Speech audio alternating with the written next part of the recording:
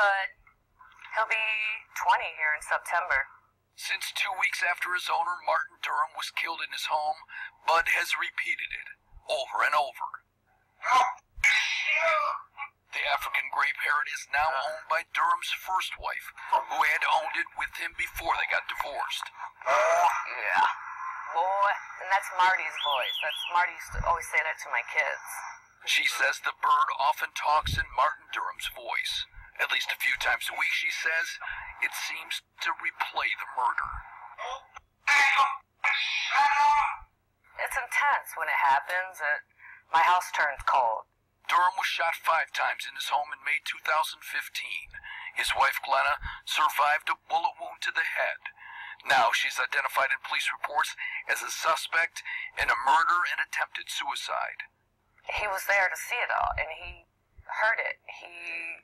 He imprinted in his brain. He can't let it go, and that's awful.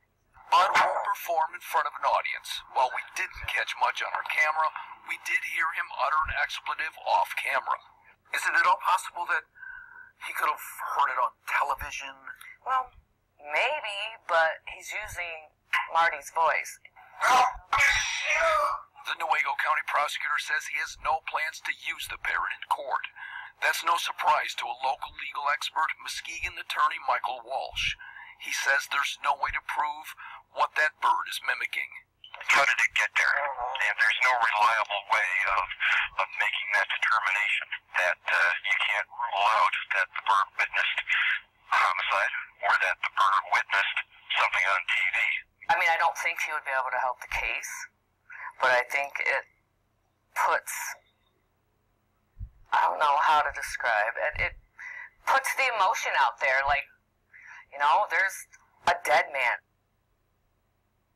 Ken Kolker reporting the prosecutor has told us that he